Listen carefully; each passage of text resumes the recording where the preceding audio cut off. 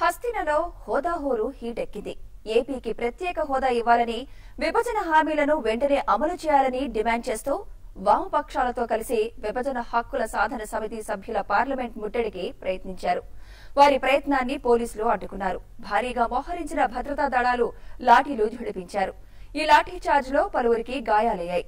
అయినా పట్టు విడవకుండా హక్కుల సాధన సమితి సభ్యులు నినాదాలు చేస్తూ అక్కడే బైఠాయించే ప్రయత్నం చేశారు. దీంతో వారందరినీ పోలీసులు అరెస్ట్ చేశారు.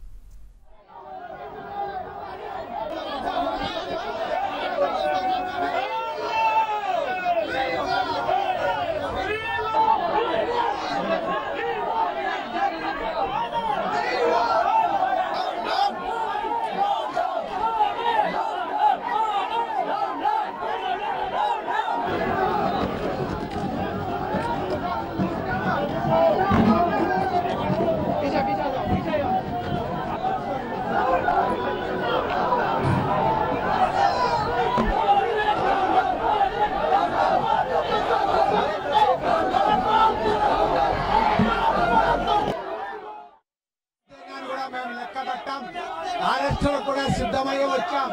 జైలు పోవడానికి కూడా మేము సిద్ధమే. ఖచ్చితంగా రాష్ట్రానికి న్యాయం జరగాలి. రాష్ట్రానికి ప్రత్యేక హోదా ఇవ్వాలి. అదే విధంగా విభజన హామీలను కూడా నెరవేర్చాలి. ఈ హామీ వచ్చేంత వరకు ఇక్కడి నుంచి వెనక్కి పోయేది లేదు. మోడీ గవర్నమెంట్ ఎంత పెద్దదైనా మోడీ దిగి వచ్చేంత వరకు కూడా ఈ పోరాటాలు మేము కొనసాగిస్తాం.